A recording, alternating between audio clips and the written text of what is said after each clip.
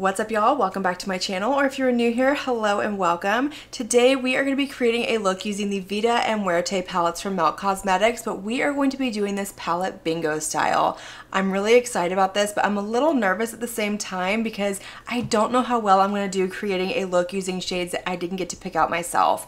At the end of the day, this is just for fun. It's makeup, it washes off, but fingers crossed that I pull this off and we don't end up with a big mess on my eyes. Now I will have as many of these products products linked and listed down below in the description box as I possibly can. I do know that Muerte is still available on the Melt website, but unfortunately Vida is no longer available. But per usual, if you're ever curious about anything I use in any of my videos here on my channel, always check the description box because I squeeze as much information as I possibly can into that tiny little space. But let's go ahead and see what we're going to be working with today. All right, y'all, so I have my random number generator pulled up on my phone and I have it set 1 through 10. And I think we're just to do three shades from each palette. I feel like 6 is a pretty solid number to work with. So let's go ahead and start with Muerte and we're to work from left to right. So number 1 is to be over here and number 10 is to be over here. So let's see what we're to get. So first number is going to be number 10.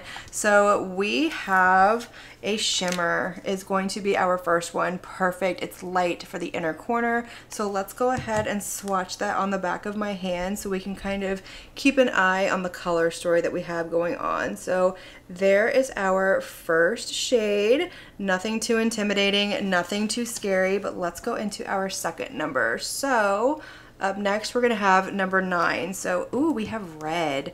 I love a red eyeshadow. So this one right here, let's do a swatch of that one. We're gonna put that one right here. Absolutely gorgeous. I love that red. There are some beautiful matte shadows in these palettes. Okay, third and final number from the Muerte palette is going to be number eight. It just kind of worked backwards on me. Okay, so number eight is going to be this deeper kind of maroon shade right here. Let's do a swatch of that one. All right. So there is our color story so far. Nothing hard, very easy look. So we have the shade Calica, Calica we have Corazon and Sangre. I'm not sure if I'm pronouncing those correctly. I apologize if I butchered those, but let's go ahead and move on to the Vida palette. Now this is my favorite of the two, so I'm really excited about this one. So again, number one is gonna be over here, number 10 is gonna be over here, and let's see what we're gonna get with this palette. I have eyeshadow everywhere. I'm making a huge mess.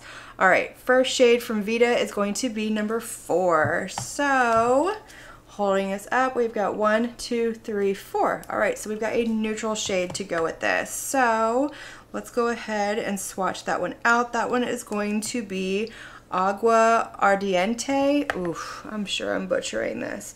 All right, next shade right there. So very interesting color story so far, but also kind of simple at the same time. But let's keep going. We have two more shades. Uh-oh. I didn't mean to do that. Okay, Next up, we have number seven. So what is number seven? So we got one, two, three, four, five, six, seven. We've got an orange. Okay, so that is the shade Soul. So let's go ahead and swatch this one out and we're running out of room on my hand and this is really awkward, but there is our next shade right there. All right, last shade, let's see what we get. I'm hoping for another shimmer, but I'm also not feeling too great about this. Okay, Last one is going to be number eight. So another matte. So we're going to be doing an all matte look. So one, two, three, four, five, six, seven, eight right here. I will say, even though I'm getting an all matte look, I don't find this to be a difficult color story. I'm going to put this one right down here. So very pretty. I'm liking the red and orange. This one kind of throws a little bit of a wrench in things, but let me go ahead and kind of get my thoughts together, kind of see what I want to do, and we're going to start creating this look. All right, so I think I have kind of a look figured out in my head. I will be honest though, the shade's kind of throwing a little bit of a wrench into what I wanna do, but we're gonna roll with it. We're definitely gonna incorporate it because the rules are you have to play with every single shade that you pulled. But I'm gonna go ahead and start with this shade right here, which is called Soul. That one is from the Vida palette. I have gone ahead and primed my eyes with my MAC Paint Pot in the shade Painterly. And to start this look off, we're gonna take that shade with a Singe Beauty EO3 and I'm gonna start by putting this in my inner corner and start kind of bringing it into the inner portion of my lid and my crease. Now, since we only have one shimmer, I think I'm gonna go ahead and save that one for like all over the lid just to bring a little bit of like razzle and dazzle to this look but we're gonna go ahead and start here and kind of see what happens. So my idea is to kind of go from orange fading all the way over into red and then maybe doing this on the lower lash line or lining or something. I don't know. That one's really kind of throwing me for a loop. All right, so with the same brush, we're gonna go into this orange shade down here from the Vida palette. That one is called Pan Dulce, and I'm gonna pick that up with that same brush, like I said, and I'm just gonna start to kind of press this into the crease right next to that shade that I just put down. And I'm gonna bring this about halfway over, so right where my brow starts to arch. And then once I have these two shades down, I'm gonna go ahead and start to kind of blow them out a little bit, soften the edges, and then we'll go into our next shade. But I do really love a good orange and red look. All right, so popping into the Muerte palette, we're gonna go into this red shade right here, which is called Corazon, and I'm gonna pick that up with my Morphe M453 brush, and I'm gonna bring this right here on the outer corner and edge of my eye. I don't wanna bring it too far onto my crease, because I definitely, or onto my lid, because I definitely wanna go in with that deeper shade, but I just wanna press this right here so we have a nice gradient from like that yellow orange all the way over to the red, and then once I have this shade pressed down, again, I can go back with blending motions and soften out that edge once again. Okay, so now we're gonna go into this deeper shade right here from the Muerte palette. This one is called Sangre. So I'm gonna go ahead and pick that one up with a Morphe M506 brush and we're gonna put this in my outer corner. So we're just gonna build up a little bit of depth out here. And I think I'm gonna kind of bring this down onto my lower lash line as well. I'm not gonna bring it all the way over though. I just wanna leave it like right here out on the outer corner just to build up a little bit and kind of tie in that more neutral shade right here that we're gonna put down here. But for now, this is where we're gonna leave it. I'm loving the way that the lid is looking and I don't know what's gonna happen when I put that kind of murky green neutral shade on the lower lash line. All right, so I'm going back with the red shade called Corazon from the Muerte palette, and I am just kind of going right along the edges of that deeper shade that I put down, just so everything kind of blends a little bit better, and then we're gonna pop into that last matte shade.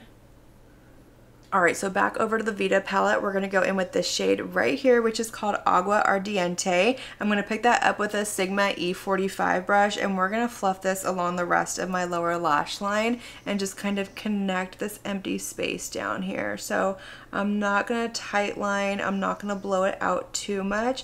I just kind of wanna buff it down here bring it all the way over to that first orange shade that I used and if I need to go back with it I can but you know what? I'm actually not upset with the way that this is looking.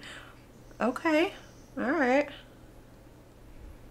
All right, y'all, so we made it to the end. We have one more shade right here left to play with, and that's this really pretty ivory shimmer shade. So we're gonna put this one all over the lid. So I've already gone ahead and primed my lid with my NYX Glitter Primer per usual, and I am going to pick this one up with my BK Beauty 203 brush. I'm going to spray it with my MAC Fix Plus, and we're gonna put this all over the lid in that blank space and just kind of blend it in, almost doing like a halo effect, but not really quite so precise. So I'm to start by pressing the shade all over. I'm going to bring it over to the inner corner, but not in the inner corner. I'm going to kind of press it up into my crease.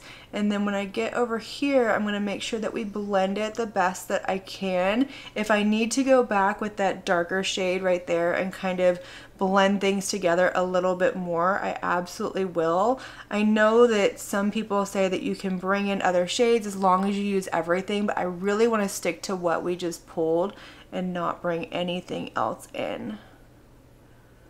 Alright, so I'm going back with a little bit of that dark maroon shade called Sangre from the Muerte palette.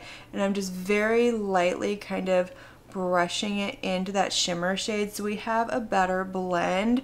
100% if I was doing this, just kind of choosing whatever I wanted, I would pick a darker shimmer to kind of blend everything together, but we're working with what we got and we're blending the best that we can, but that's definitely softening it up and get rid of that, getting rid of that harsh line compared to what I have going on over here.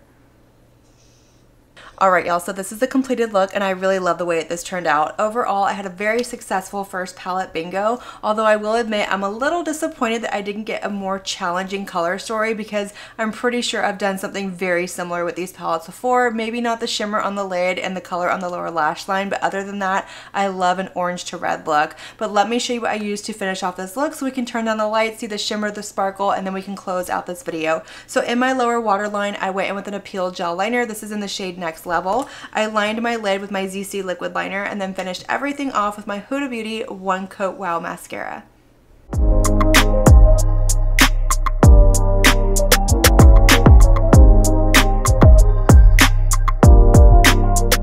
All right, y'all, so that is gonna complete this video. I hope y'all enjoyed it. Let me know all of your thoughts down below. Did you like the look? Do you have these palettes? Did this give you a little bit of inspiration? Also, let me know if you enjoyed the palette bingo and you wanna see more. I'm kind of toying with the idea of maybe rolling a palette bingo into a Throwback Thursday every now and then. I don't know, could be fun, but like I said, let me know all of your thoughts down below. Let's have that conversation, light up that comment section. And as usual, I wanna thank you all so, so much for watching my video and spending your time with me. It truly does mean so, so much to me. And if you like this video, make sure you give it a big thumbs up before you leave. Don't forget to hit that subscribe button and click on that notification bell so that you can be notified of all my future posts here on my channel. I do post quite a few videos every single week and I wouldn't want you to miss one. But until my next video, have a good one.